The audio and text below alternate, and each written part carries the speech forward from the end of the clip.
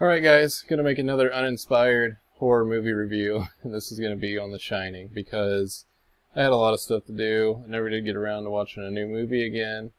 Of course I've seen The Shining multiple times, The Shining is a grade A movie, not just even for horror movies, but for movies in general, but, uh, you know, great role by Jack Nicholson and everybody else that's involved in the movie, especially the female and uh, the female lead. I'll have to look up her name, but she did a fantastic job in this movie.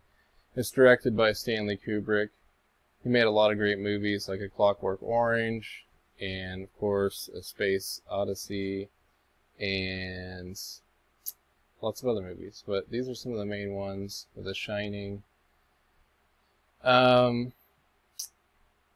it's directed so well. The visuals are so good. Everybody that's ever seen this probably, you know, remembers the hallway scene where the blood just floods in and the kid on the tricycle and the twins and just the way that the the entire motel looks, the hotel. Um, just the, you know, Jack Nicholson putting the axe through the door, saying, Here's Johnny, and putting his face up to the door. A lot of iconic scenes and quotes, and it's just such a great horror movie. And the sound, there's like violin or fiddle, it's like stringed instruments. It really revs up the tension. Like it's just so eerie, creepy, and uh, yeah, I love this movie. So it's based on a Stephen King novel, and there's a remake which I don't really think is so great, and there's now I guess the sequel, uh, Doctor Sleep or something like that. I haven't seen it, but of course it's not directed by Stanley Kubrick, so uh, to me that's one of the main things that really makes this version of The Shining, plus Jack Nicholson. Um, but from what I remember, so it's been a while since I've seen this, it's basically a family. Uh, there's a writer, and he has a wife and a son, and they get an opportunity to go out in this uh, hotel in Colorado, I think, during the winter. They go on vacation there, and they're going to. It's supposed to help inspire him, and it's supposed to be good for the family to enjoy being out there. And lo and behold, it's a haunted. Um, it's a haunted hotel, and I guess there's a history of violence with the basically the people that lived there before, the people that owned it before, and it's kind of reliving the tragedy, I think, through uh, Jack Nicholson's character, and uh, he ends up going crazy and trying to kill his family. Um, there's somebody who shows up and tells the boy, you know, basically that kind of has psychic powers and uh, he can kind of see the ghosts or he can see things that are going to happen or whatever. There's the scene in the bar where Jack Nicholson's character walks in there and all of a sudden there's people in the bar and everything when like there's nobody in the hotel at all uh, except for this family but all of a sudden there's people there and they're talking to him and he's losing his mind. There's the scene when his wife finds out all the papers that he's been typing, and every paper says, uh, all work and no play makes Jack a dull boy.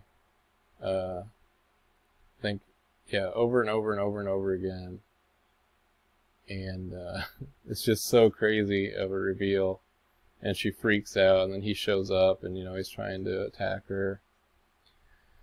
But anyways, I love The Shining.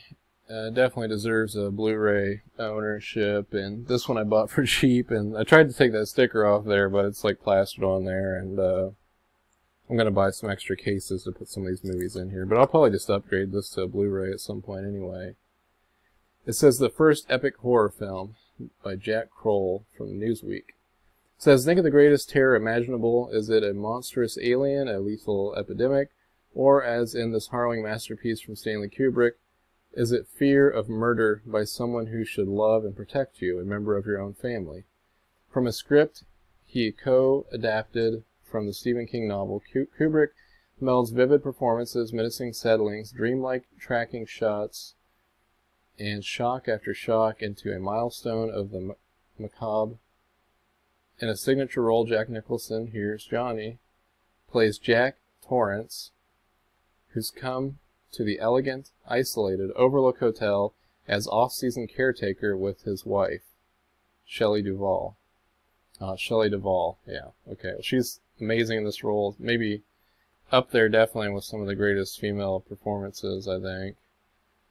You really feel the confusion and terror that she feels, and she's so amazing. I think the woman that plays in the movie Possession kind of gives her her run for the money, but those two are very similar to me. And son Danny Lloyd, uh, Torrance has never been there before, or has he? The answer lies in a ghostly time warp of madness and murder. And there's like a hedge maze outside of this hotel, and that's how it ends when it's winter and it's freezing outside and there's just snow everywhere. And they end up, uh, the wife and the son end up escaping outside, and they end up losing him in this hedge maze, and he basically freezes to death out there. Um, so yeah, just an incredible movie. Just so the atmosphere in the hotel is just amazing. So yeah, I've done some rearranging here in some of my other rooms again, and this time you can see as I have a little netbook computer over there hooked up to where before what I was doing is I was loading like the trailers or images or whatever onto a hard on a little flash drive and I was putting it in my Xbox and I was playing it through the TV. But I've done this before and now I've decided to do this again is to hook up this little computer and it makes it a lot easier to do whatever I want on that display. So that's one thing. And then I had a stand-up computer desk in here and then like a table with computer in my study room, and I decided to swap them. I did the stand-up desk in there, and um, I have a whiteboard in there, and I think the placement of this, like right in front of the whiteboard in there, the stand-up desk, it's going to be a lot better, and I think in here with this table and different things going on here, I think it can be better. So, you know, I don't have all the time in the world to do everything, so this is where I'm at. And hopefully tonight I'll watch a new movie, but I don't know because I still got to finish kind of moving things and cleaning up. But if you have not seen The Shining, it is an A plus movie. It's definitely should be on your watch list. You know, it's definitely up there in the like one top 100 must see movies. You know, I mean, I'm sure even closer than than that, but a lot of people have seen it, but you've got to watch it. So that's going to be it, and this is movie number seven. So we still got a long ways to go, and a lot of opportunity for the videos to change here. So we'll see what happens next, guys. Sayonara, God bless.